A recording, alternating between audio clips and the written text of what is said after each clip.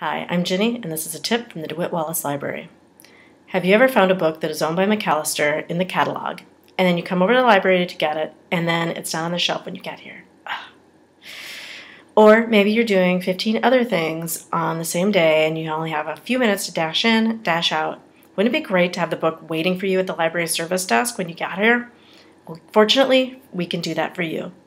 Having a book that we own held for you at the library service desk is easy.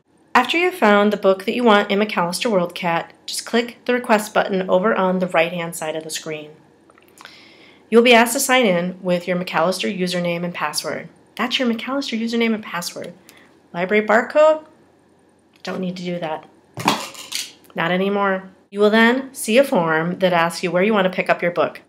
Pick Macalester, it's the only option. Go ahead and click it and submit. That's all you need to do. When your book is ready for you, you'll get an email telling you you can come pick it up. And that's your tip from the DeWitt Wallace Library. See you soon.